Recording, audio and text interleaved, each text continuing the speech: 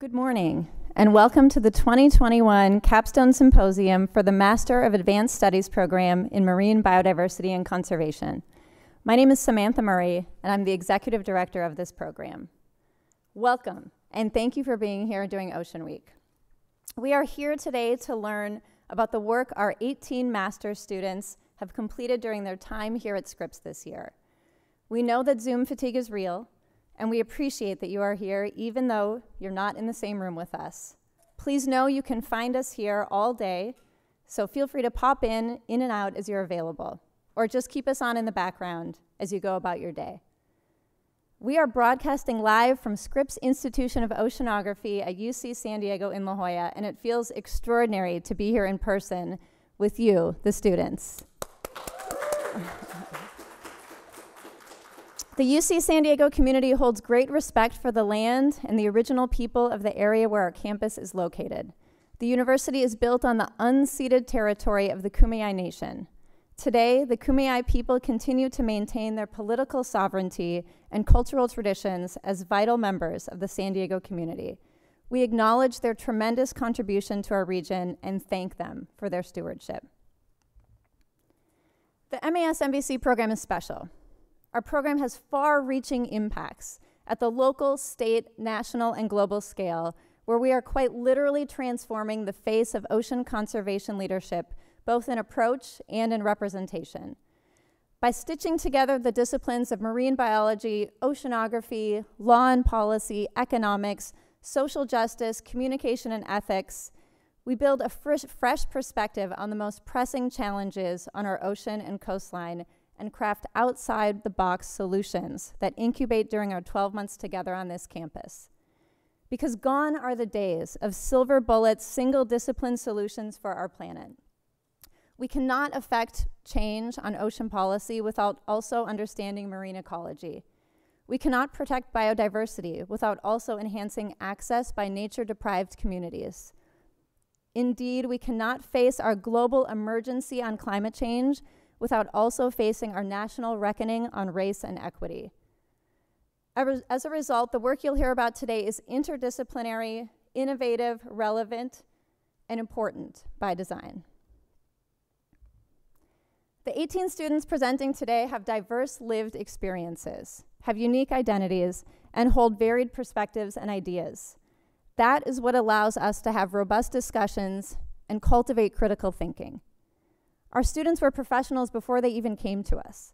They are educators, finance experts, filmmakers, painters, fine artists, scientists, entrepreneurs, organizers, advocates, lawyers, and more. And we see these varied professional backgrounds as experiential assets that allow us to better innovate, reimagine, and create together. So the sky is the limit. Our program allows students to dive in incubate, and pursue quite literally any capstone project they choose, as long as it advances the marine conservation landscape. So today you'll hear about research, films, surveys, compositions, papers, story maps our students have created. Now, this is the part where I usually transition to photos of our time at Catalina Island, the summer course we spent together, our research cruises, and all the zany adventures that we've had together over the last 12 months. But we didn't have a summer class last year. We bumped it to the end, to the summer coming in just a couple months, because students wanted to learn in person. They expressed it very clearly time and time again when we asked them. They came here to learn in person, to seek mentorship in person, and to collaborate in person. So the summer is to come next month. This year has been challenging for me personally as a director of a program that has only 12 months to provide training, mentorship, networking opportunities, and educational experiences, and to do it all safely.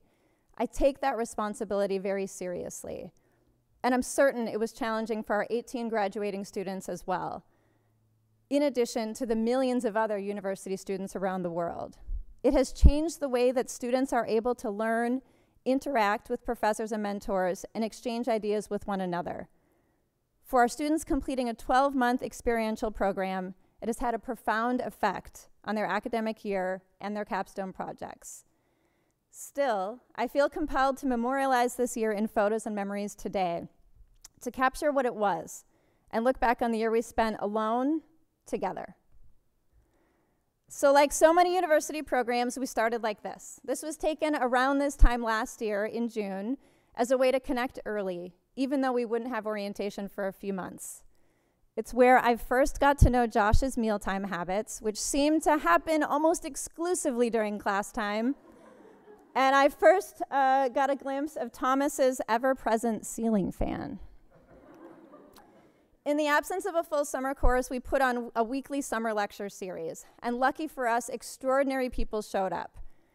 This is Letise LaFeir, who talked to us about federal ocean policies. Subsequently, she went on to get appointed to the Biden administration. Octavio Aburto talked to us about marine science communication. Nancy Knowlton on ocean optimism and Jeremy Jackson on COVID and the environment. There were many others. And we witnessed professional relationships being seeded here for the first time. This is where Alejandro first met Anela Choy, who was talking to us about deep sea biodiversity. Subsequently, he was able to work in her lab with her all year and is now going on a research cruise with her next week, which is why he is presently quarantining and is presenting today by Zoom. And Isabel Rivera Collazo, who taught us about cultural heritage and climate action. I can see the imprint of this talk, this connection, in our capstone projects today. In September, we managed to hold an in person orientation day on Scripps at Pawka Green. It wasn't easy, it wasn't cheap, it was complicated, and it took a lot of planning. We bought a PA system, we kept our distance, we followed the rules, we bumped elbows and we sanitized a whole lot, and it was totally worth it. We got onto the pier, and some of us even managed to take the September scientific diving course, which was taught in person. We complemented these activities with things like virtual escape rooms to build a sense of cohort connection in a time where physical connection was all but forbidden.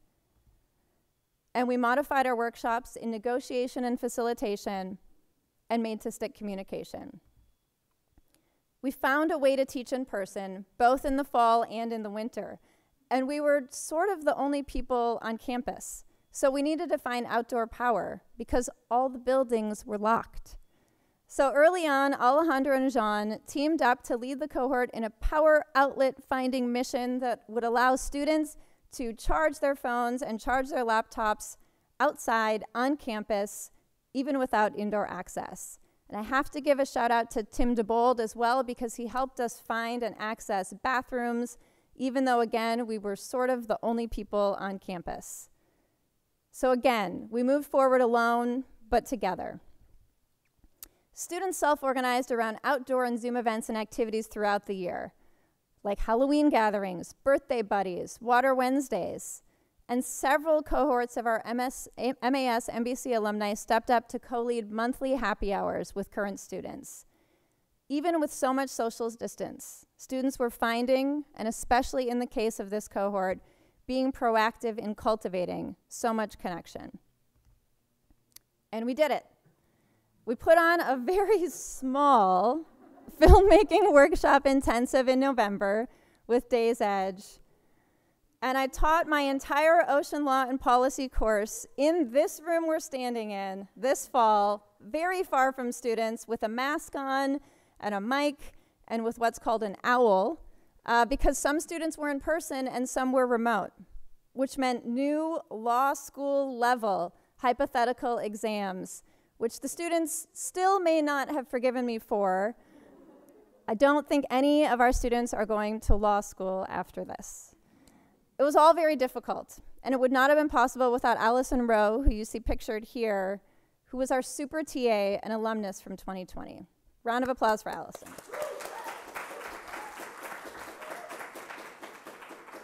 and still, sometimes we learned online. We learned R from Caleb Linko, and we learned from big shots like Mark Gold, the director of the Ocean Protection Council, who joined us even though no one could travel. We presented our capstone ideas in this room in person last fall to each other, six feet apart. And it wouldn't have been possible without Risa Farrell, Mark Jacobson, Greg Rouse, who were always game to stand with the MBC program at the leading edge of a safe experiential learning, even in COVID times. Over the past year, I've been incredibly proud of UCSD's leadership on COVID safety, resources, and health. By doing things like testing campus wastewater and requiring weekly testing by students, faculty, and staff, we largely stayed safe on campus in a very scary time. I went back and counted, and I took 36 COVID tests over the course of the academic year. It's one of the reasons we were able to continue teaching in person and stay safe on campus, even as things were getting worse around us. Because to be clear, things were getting worse and very difficult around us. In fact, there was an astonishing layering of challenging and painful events and circumstances co occurring this academic year on top of a global pandemic. There were wildfires, countless mass shootings. Together, we continued our collective national reckoning on the murder of black people at the hands of police officers, hateful acts on trans people, and violence against Asian American Pacific Islander communities. These realities continued throughout the year on top of everything else. It was an extraordinarily difficult time to teach, and it had to be a difficult time to learn. We talked about all of it out loud in class, and we tried to make sense of it.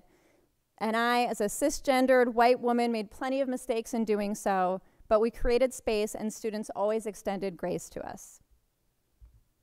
We had an election in the midst of it all, and I remember I gave an ocean law and policy lecture the very next day. We spent most of that lecture unpacking it, and it was challenging. And we made it through another challenging part of this year alone, but together as students, faculty, and staff. Right around Thanksgiving, we got sent outside. COVID was climbing, campus policy changed, no more teaching inside, and it was tough on morale.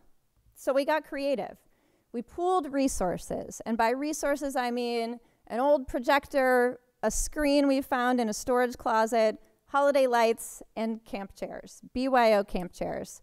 It was beautiful and special, and the views were spectacular. And multiple truths, it was not easy. never. It was never once easy. It was complicated. It got dark outside. some folks were remote, some were in person, and the owl was a must. Eventually, we made our way to the outdoor teaching tent on upper campus. We finished out ocean law and policy there and taught, taught our winter course there as well. We're grateful for these resources and feel privileged to live in a place where we could teach and learn outside, and it's where we'll spend the summer. We witnessed an insurrection and eventually an inauguration, but we turned a corner.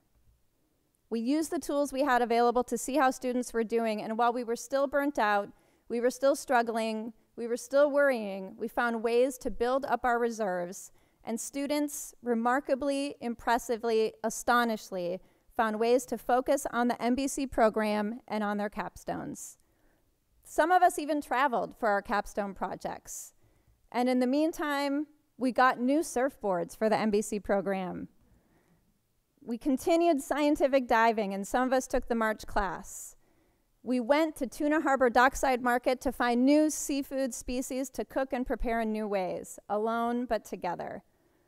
And we went to Ocean Day, a California Ocean Lobby Day with 500 other Californians. The point is that we connected. Even in this time that required distance, student found students found ways to be alone together. And I see this tangible, visible, palpable connection among these 18 students who supported each other leaned on each other, mentored each other, and learned from one another in ways that may be even more pronounced today than they would be in a typical year. So now more than ever, I'm proud of the MBC program. Our relentless commitment to experiential, hands on learning, even when logistics are challenging. And I'm honored to have shared this year, which I suspect is unlike any year any of us will experience again in our lifetime, with the 18 of you. I feel fortunate and humbled to have spent this time that will be imprinted on all of us forever, for better or worse, alongside you. I'm impressed with your ability to focus in spite of this world events, and you decided to come to this MBC program anyway, to add additional challenges to your life, to grow, and to trust us to guide you in that.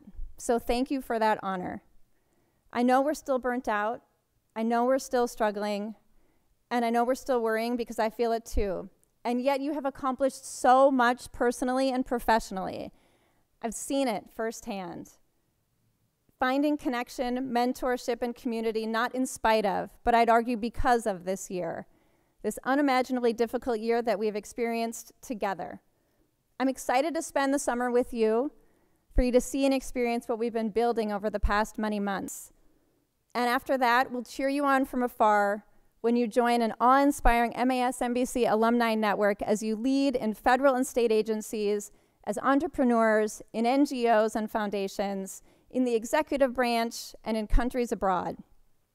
I know you, this next generation of colleagues and ocean leaders, will exert your own influence to support a world that is safe, equitable, inhabitable, and livable for all, for future generations. And that will matter. But for today, we want to hear what you've learned this past year. Before we begin our program, a reminder to please text your questions in and we can answer them in real time. You should see the number and the WhatsApp link uh, just below the YouTube live stream in the description. I also want to take a moment to thank some of the folks who make this program possible.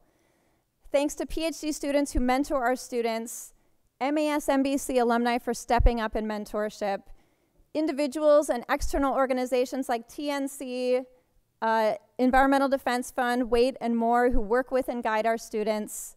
Scott McCreary, Val Paleo for negotiation training, Days Edge for filmmaking, our 2021 summer course instructors for agreeing to join us this year, the entire SIO department, Isabel Rivera Collazo, Dick Norris, Anela Choy, Lisa Levin, Jeremy Jackson, Nancy Knowlton, Octavio Aburto, Dovi Kacev, Heidi Batchelor, Dale Squires, Squires, Jen Smith, Sarah Mesnick, Stuart Sandin, and all the faculty and UCSD associates who make this program what it is. Especially want to thank Sarah McDonald, Phil Zerofski, and Christian McDonald, Vice Chancellor Margaret, Margaret Leinen, Donna Shabke, Romy Apostle for their support in executing this socially distanced live broadcast from Scripps, Steve Bennett, our tireless communication consultant, Greg Rouse and Mark Jacobson as co-chairs of this program, Allison Rowe as super TA, and Risa Farrell for being the absolute pillar in supporting and advising our students and all around magician in finding ways to have in-person events. And of course, to the 18 students themselves who are here for choosing our program, sticking with it, even in COVID times, and for having great ideas and sharing them with us today.